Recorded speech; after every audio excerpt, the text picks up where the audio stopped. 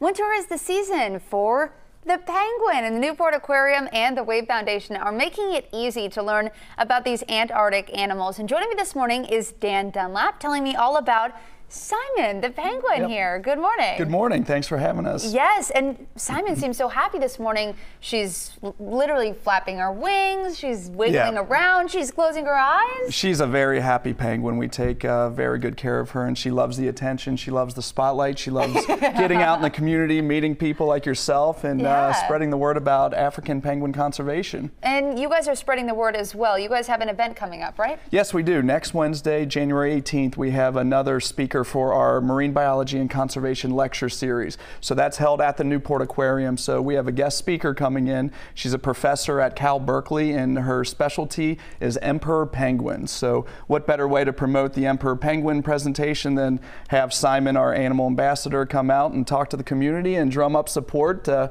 come see her speak. Yes, and why don't you tell us a little bit about Simon because I understand she's got a lot of personality. She does. Simon's a 10-year-old African penguin, so she's a warm weather penguin. Not many people realize realize that there are such things as warm weather penguins, that they all don't live in Antarctica.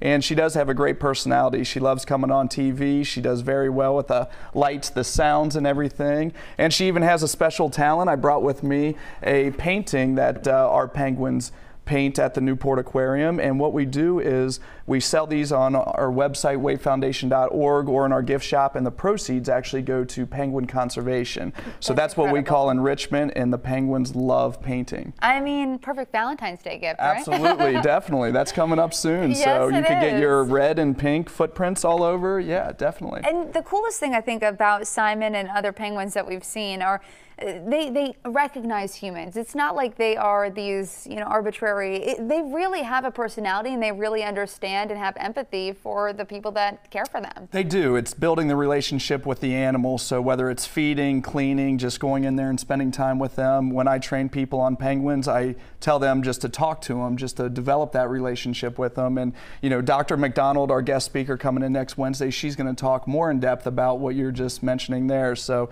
she's been all over Antarctica working specifically with the emperor penguin, and we're really looking forward to that. Absolutely. Well, I so appreciate you coming on, Great. Dan. Well, and thanks for having us. No problem. And of course, you too, Simon. and you can see the Emperors of the Ice January 18th at the Newport Aquarium Riverside Room. There will be appetizers and animal encounters at 6 p.m. Then the presentation will follow at 7. General admission is $20. For more information or to get tickets, go to thomasmore.edu. Thanks so much. Great.